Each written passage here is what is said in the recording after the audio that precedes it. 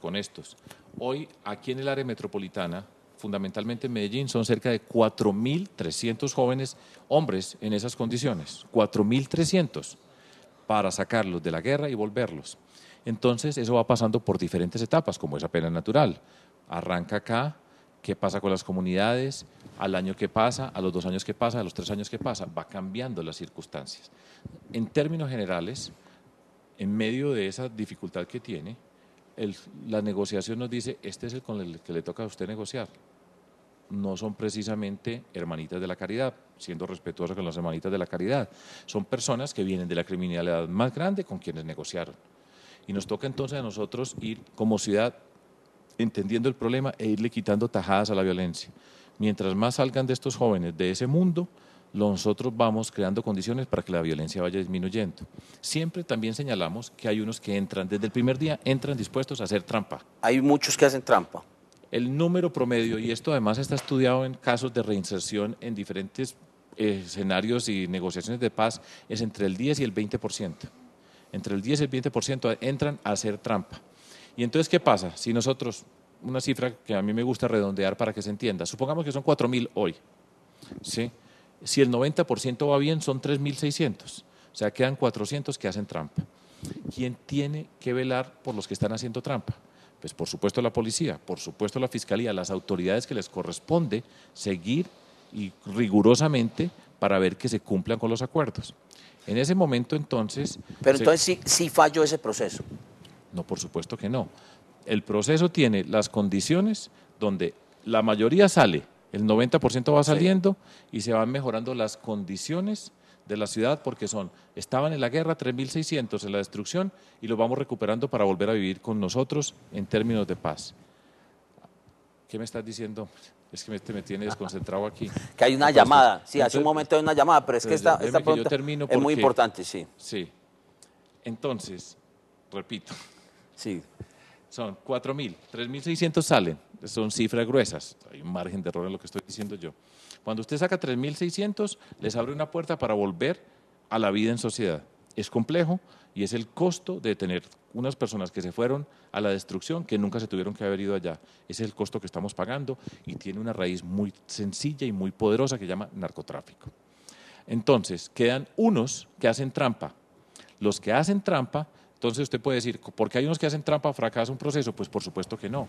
Eso está conocido y reconocido que hay gente que entra a hacer trampa. ¿Y el reto para qué es? Para las autoridades, para que quienes hacen trampa, si antes eran 4.000 y ahora son 400, entonces hay una mayor capacidad para actuar sobre los que hacen trampa. Y sobre esos que hacen trampa se tiene que aplicar toda la fuerza de la Fiscalía y de la Policía para capturarlos. Y eso es un tema complejo y es una responsabilidad que a nosotros como gobierno municipal no nos corresponde, porque es que el, gobierno, el alcalde no es el presidente de la República el comandante de la policía lo nombra el ministro de Defensa, el gobierno nacional. La fiscalía no la nombra el alcalde de la ciudad, la nombra el fiscal general. Eso son estructuras que son independientes de la administración local. Y nosotros interactuamos permanentemente haciendo el proceso de reinserción, haciendo un seguimiento, viendo qué pasa. Usted se puede imaginar los conflictos que ocurren en el territorio, pero precisamente el punto es atender esos conflictos, ir quitándole a esa violencia que destruye poco a poco, ir viendo, llevando de la mano para que se pueda volver a vivir en comunidad. Hay miedo, hay susto en muchas comunidades. ¿Y hacían trampa la, eh, eh, eh, sectores de la policía y de esos? No, esas son dos cosas. La trampa son, cuando entran al proceso, unos que hacen trampa. Sí. La responsabilidad la policía y la fiscalía para capturar a quienes hacen trampa. Nosotros, por ejemplo, como administración municipal, en el contexto de un Consejo de Seguridad, vamos pasando información que vamos recogiendo. Secretario de Gobierno, director de reinserción, se tiene una información diciendo, aquí hay unas personas que nosotros vemos que pueden estar en el tema ilícito, por favor, investiguen a este, investiguen a este, y eso hace parte... Y no siempre ocurría. Y no siempre, por supuesto, se capturaban, y eso es parte de la, de la discusión que se tiene en el mundo de cómo se aplica la justicia. Usted no puede salir, yo no puedo salir a decir, este señor es un delincuente, captúrelo, pues porque sería una violación a los derechos que tiene toda persona, así sea un delincuente. Hay que demostrarle que esa persona es un delincuente. Y ese trabajo le corresponde, repito, a la policía y a la fiscalía. Nosotros le dimos en la ciudad y se le sigue dando un apoyo gigantesco en recursos, en CAIS, en motos, en todo lo que se pidió para que se facilite ese trabajo, para que las autoridades puedan, a quienes corresponde, hacer ese tipo de trabajo. Pero entonces usted resume todo esto y en qué, nos encontramos. Que había un montón de personas que estaban en la guerra y en la destrucción. De ese montón sale un número muy grande que vuelve a ocupar un espacio en la sociedad. Ese es un esfuerzo tremendo y eso inmediatamente significa que se disminuye la violencia. Hay unos que hacen trampa, que son de otro nivel y que, por ejemplo, lo voy a decir con toda la claridad, en este momento, donde hay un vacío en la cúpula del narcotráfico en Colombia. Me explico porque esto es, necesita alguna explicación. En este país, recordemos que de esos líderes paramilitares que habían firmado con el gobierno, un buen número de ellos, cerca de 14, los extraditaron a los Estados Unidos porque el gobierno nacional explicó diciendo que seguían delinquiendo desde la prisión. O sea, estamos hablando de personas que no son precisamente unas personas muy fáciles de manejar y el gobierno nacional se declaró incapaz de tenerlos en una prisión y que no delinquieran ahí y entonces los extraditó, para ah. que nos demos cuenta que los que estaban adentro de la cárcel seguían delinquiendo, como lo señaló el gobierno nacional, y los extradita. Y entonces, en el momento que los extradita y otras personas del mundo del narcotráfico que han sido eliminadas o capturadas, queda un vacío en la cúpula del narcotráfico. Todas esas personas que están arriba, que tenían ese poder en ese mundo tremendo del narcotráfico que está en la raíz de los muchos problemas que tenemos en Colombia, fueron sacados del panorama. ¿Qué ocurre en ese mundo? Dolorosamente lo que ocurre es que quienes están aquí inmediatamente debajo empiezan a buscar las posiciones para ocupar lo que tenían antes. Y eso es lo que está pasando hoy en Colombia, que hay una guerra, ¿sí? entre comillas, y no tan grande como podría haber sido, en el mundo del narcotráfico para ocupar esas posiciones. Entonces se fue un don y aparece otro don y entonces empezamos a escuchar otro tipo de nombres. Y esa es la lógica de, ese narcotráfico. ¿Y qué nos corresponde a nosotros? Digo nosotros como sociedad, ciérrele siempre los espacios, que a medida que van saliendo algunos, no entren más. Me explico con algo que es muy poderoso, con esto termino, Sergio, porque la pregunta...